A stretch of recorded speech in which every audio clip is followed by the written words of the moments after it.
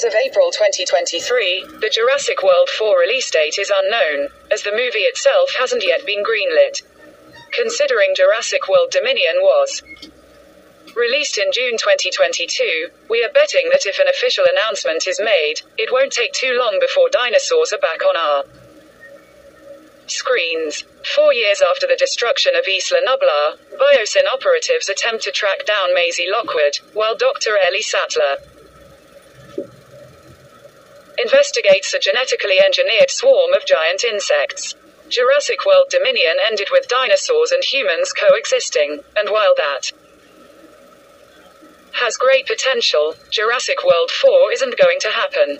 The long awaited Jurassic World Dominion hit theaters in June 2022 with Colin Trevorrow at the helm, although it was not well received by critics.